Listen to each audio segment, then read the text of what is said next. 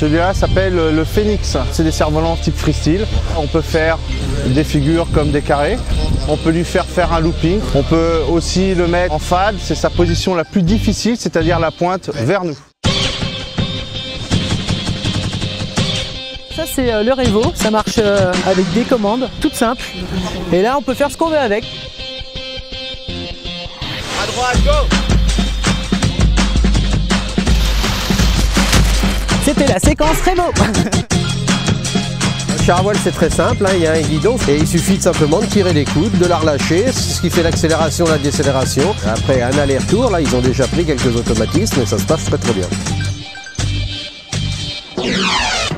C'est un kite cerf-volant qui me tire moi, accroché à harnais.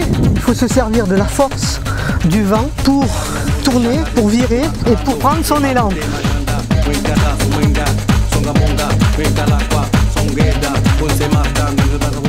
Le principe pour diriger le cerf-volant, mais on doit tirer sur la barre de, du haut vers le bas. Pour euh, faire démarrer une, une aile, il faut toujours être dans la fenêtre devant. Quand tout va bien, on lui indique par un geste franc et définitif qu'il peut lâcher l'aile.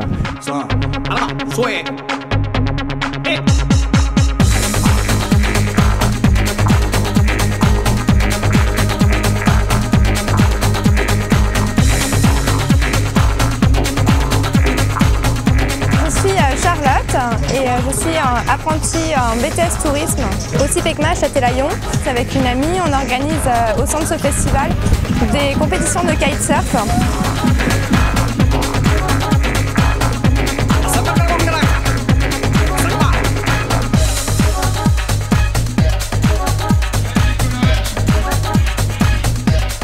Petit combat de rocakou en direct, donc euh, le but du combat c'est d'essayer de sectionner la, la ligne euh, des autres euh, concurrents.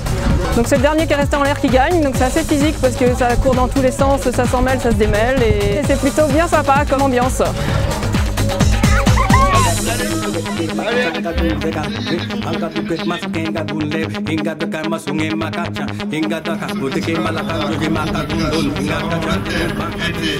Les chimères et les animaux extraordinaires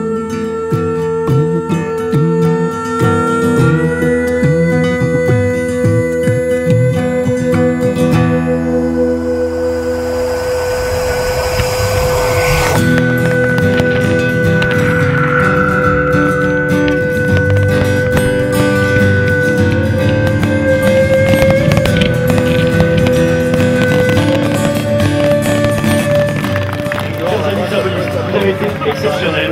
Veux vous remercier et vous dire euh, à l'année prochaine. On vous attend de bien faire. Merci.